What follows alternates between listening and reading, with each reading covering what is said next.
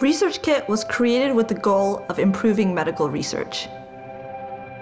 A year later, we're seeing app developers, doctors, and even patients take these ideas and make them more powerful than we could have ever dreamed.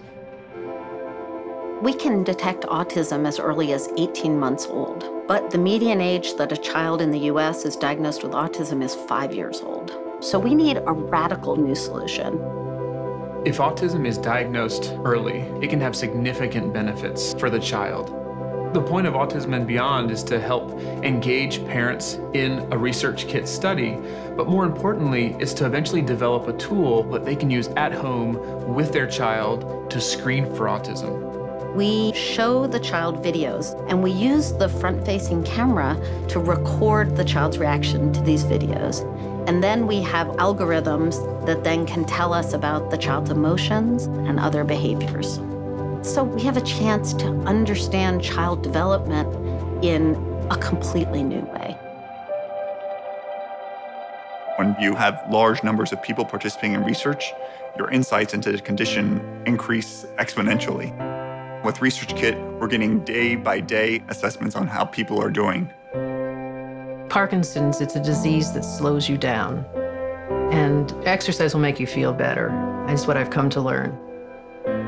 What I'm trying to do lately is use the app before I exercise and then afterward to see how exercise might forestall the progression of it, because it's not curable at the moment. At the moment. Now with mPower app, we're getting information that can be used to personalize the care that patients receive. If we could bring research and care together and really bridge that gap, we could help people live healthier and happier lives. I had my first epileptic seizure when I was three and a half. I always have that fear first of all in the back of my mind, am I gonna have a seizure while I'm driving? What if I'm at work or I'm by myself? Um, how am I gonna handle that situation? The EpiWatch app is the first research app to use the Apple Watch.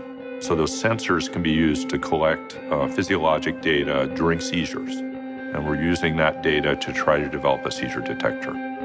The research that they're doing is exciting because they're trying to find a predictor. Having that would be amazing because I would know, hey, this is gonna happen. You have plenty of time to get to safety. It's like, okay, I got this this is no longer just about research.